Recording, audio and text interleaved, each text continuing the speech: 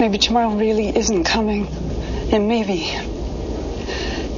just maybe, I've earned the right to live a little before I die. Haven't I?